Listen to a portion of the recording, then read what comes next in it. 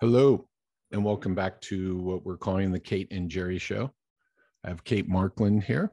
Good morning, Kate. Or good afternoon, Jerry. Good afternoon to you. Yeah. so funny. Like I've said, I'm on the east, so it's I'm always thinking backwards. But as soon as that came out, I was like, uh oh. So good yeah. afternoon. Oh, it's lovely to see you again, Jerry. Great to see you. And I I'm really, really excited. Um, as I mentioned to you before, I went back and listened to at least the first episode completely through, which I barely do with any of my other stuff. I'm going to own that. Um, but I really, really enjoyed it and really sunk into the conversation that we had. And um, I, I, really like uh, how we presented all that. So it'd be great to continue the conversation today. And we just spoke about a little bit about what we've shared in the last couple of episodes and I think this is important. And I'm not sure I understood this. And I think I played this out a lot in the first one is this idea of, right? We have to understand what everybody's doing and what they're doing to be successful so that then we can go on and differentiate and use our creativity and our put our personalization on that. Would you agree with all that? I would. And straight away, you made me think of something the Danes would rather I didn't bring up, I'm sure, if there are any Danish listeners. So in Copenhagen, there's a bridge called the Kissing Bridge, and they started to build it from each side of the shore, and it didn't meet in the middle. so when you're starting talking about you need to know what everybody's doing, well, the person on the left bank needed to know what the person on the right bank was doing the structural engineers clearly hadn't got their measuring right. And some point in the whole process, they also ran out of funding. I can't recall how long it actually took to complete, but it is now completed and I have walked across it and it is a very lovely thing. But wouldn't it have been even lovelier if there hadn't been that embarrassment? If the clarity on not just the vision, but making sure that the maths and the metrics were all in place and the funding were all in place would have made the whole thing a lot, lot smoother.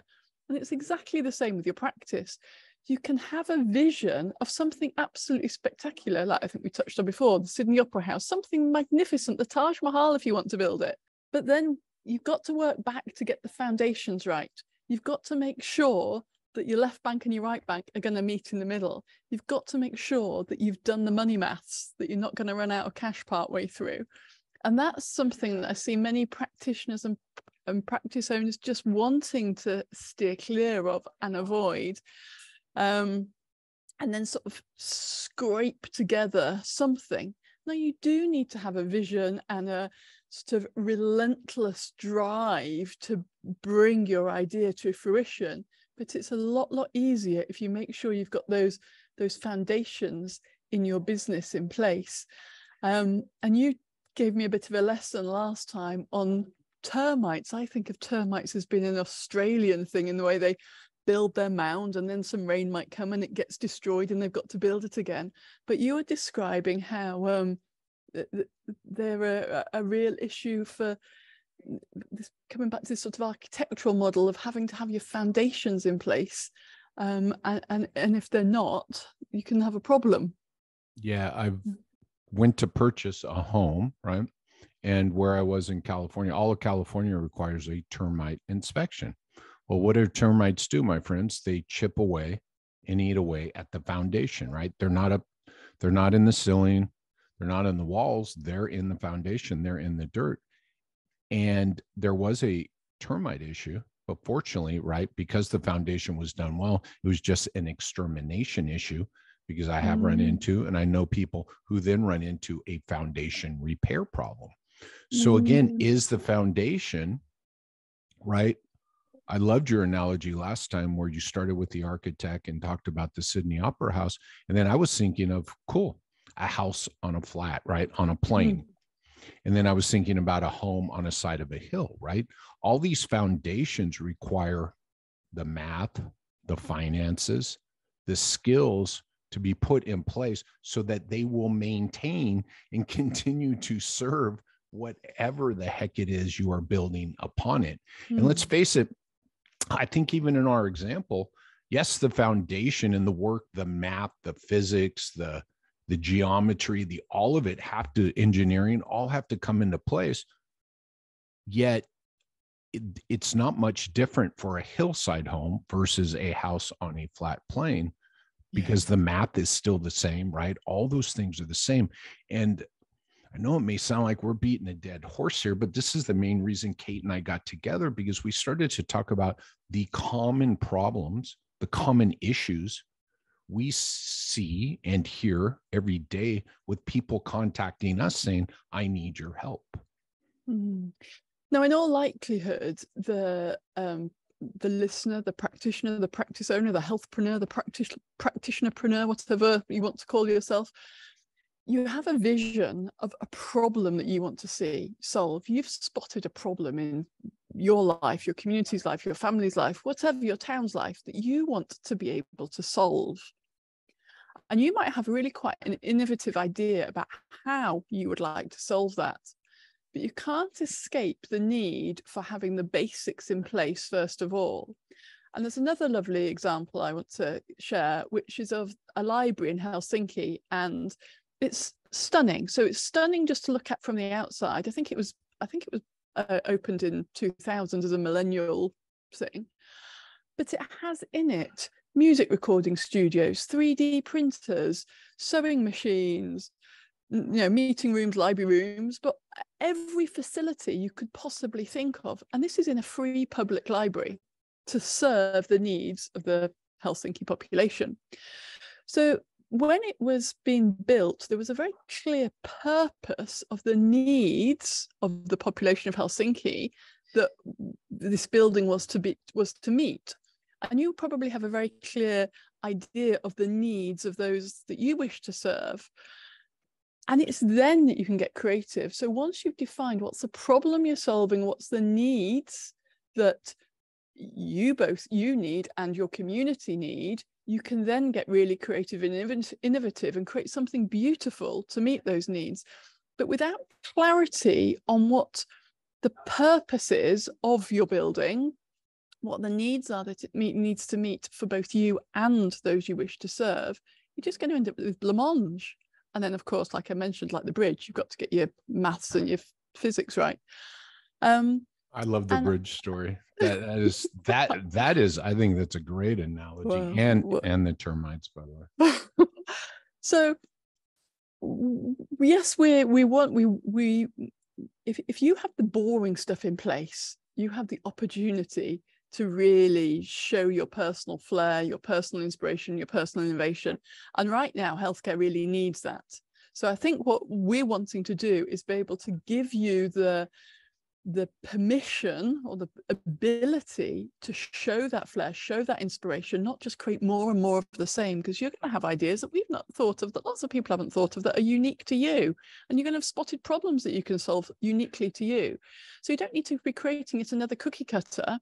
However, to have the opportunity to build something that's stable and innovative, it's still got to have the bricks and mortar in place. You've still got to have those foundations dug and those to be stable so they're earthquake proof. And okay, termites might come along, but it's a extermination problem, not a demolition issue.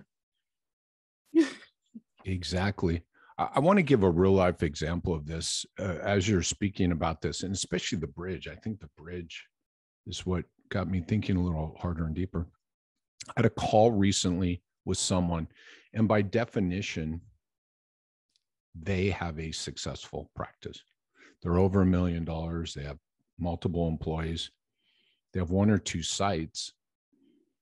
And because the base uh, and I'm going to say this out loud over $1 million a year in revenue, and they do not have the basics in place. So just mm-hmm. hear me out on this. They don't. And how I could tell is, well, hold on. The conversation started with, I've had enough. I'm tired of building, building, building. I'm frustrated. That right there, by the way, though that terminology told me that they don't uh, literally, I just went to a place of, okay, I got to back this way up because we're going to be talking about business basics here. And if you are an owner, a practice, I'm just going to say practice owner or brand new owner, and you're trying to solve a problem and you're spinning around in that problem and you're trying to solve the same problem 30 days 60 days 90 days 12 months later and you're always in it deep in it then you don't understand the business basics and, and that's what i that's what i heard on this call. So revenue a million for taking more taking a significant amount of money out of the business and rightfully so because it's theirs.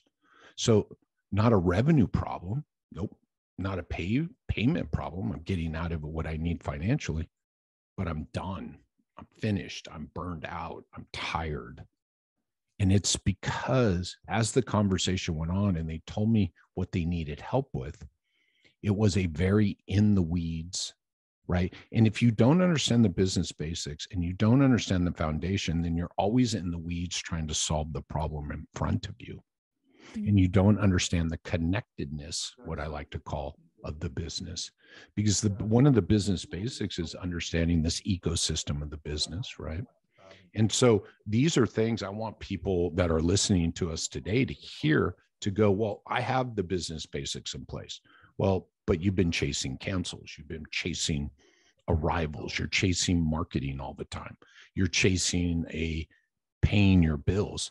That those emotions and those constantly in the weeds on these problems if you can't take a step back and look at your business in a bigger picture and want figure out how to solve those problems in a different place than they're happening then you don't have those basics in place that that's that faulty foundation right someone you got a faulty foundation, you have a crack in the wall, you fill the crack, you paint over it, it cracks again.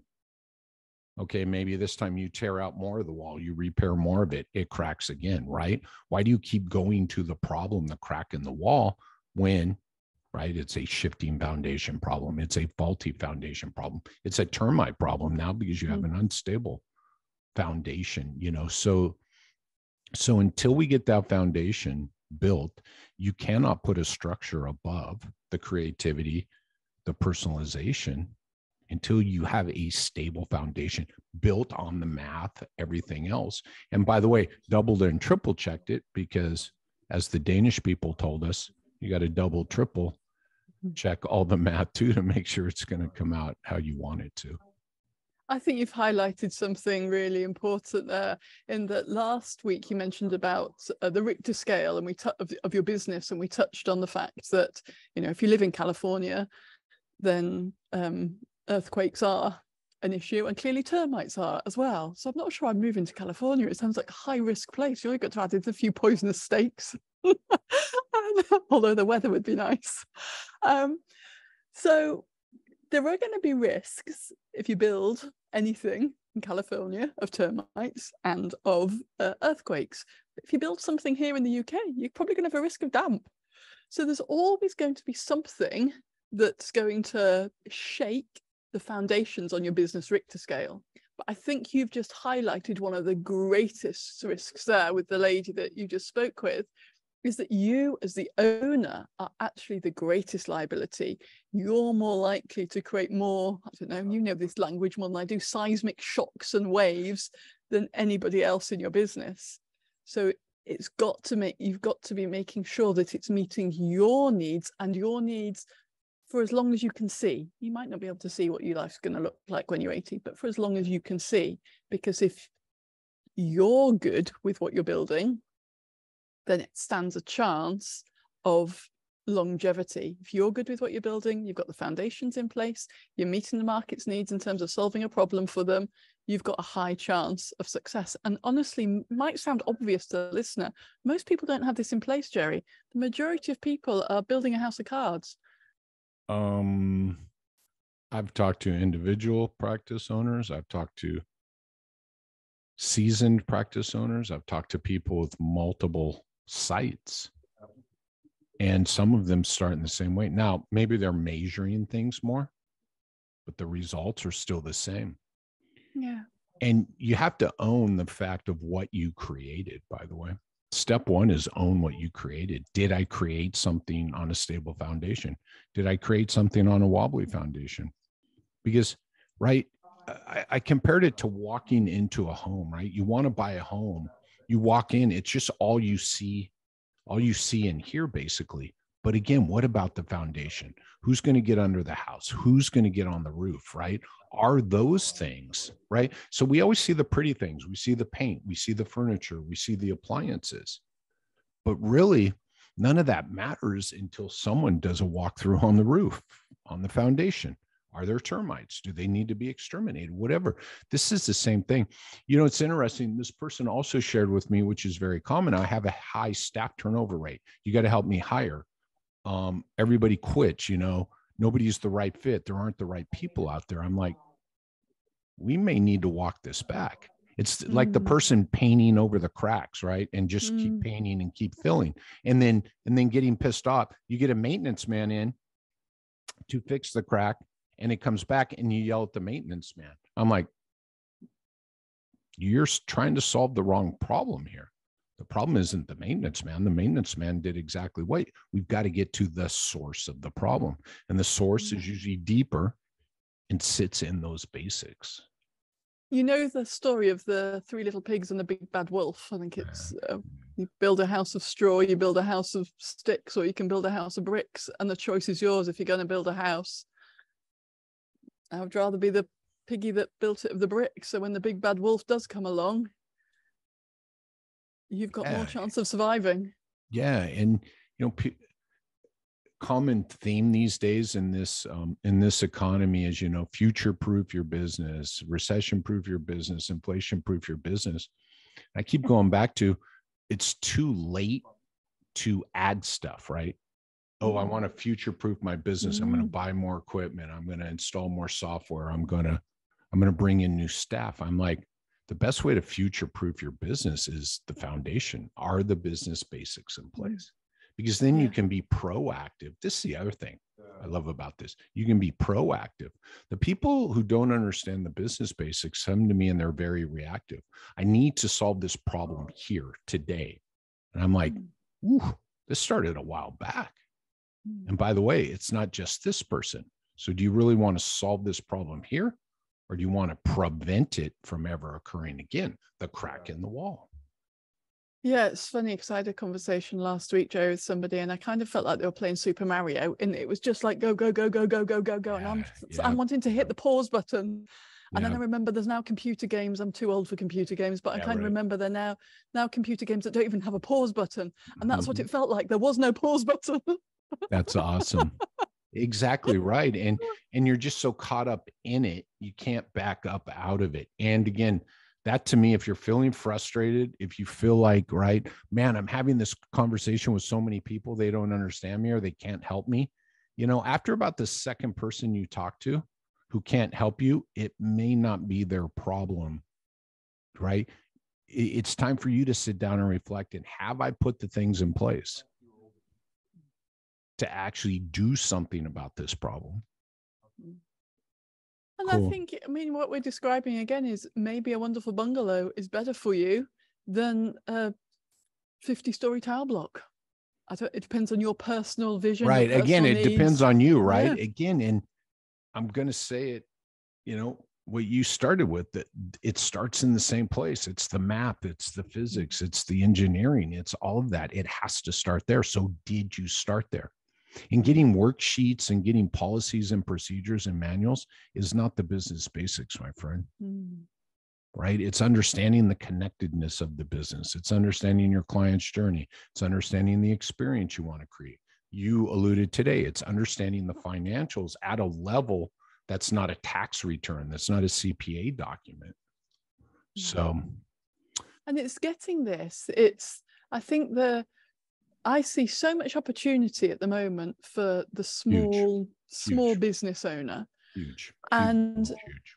we want you to fly and we want you to be able to bring your creativity forwards. We don't want you to be another cookie cutter, another cookie cutter. But I'm just reiterating again to be able to do that, there are some fundamentals that you do need in place that then enable you to differentiate yourself from everybody else and stop the big bad wolf, the termites, the damp, the storms, the earthquakes from knocking you down. I like that. I just want to echo that that you can be successful. There's more potential now than there's ever been in my yeah. lifetime here.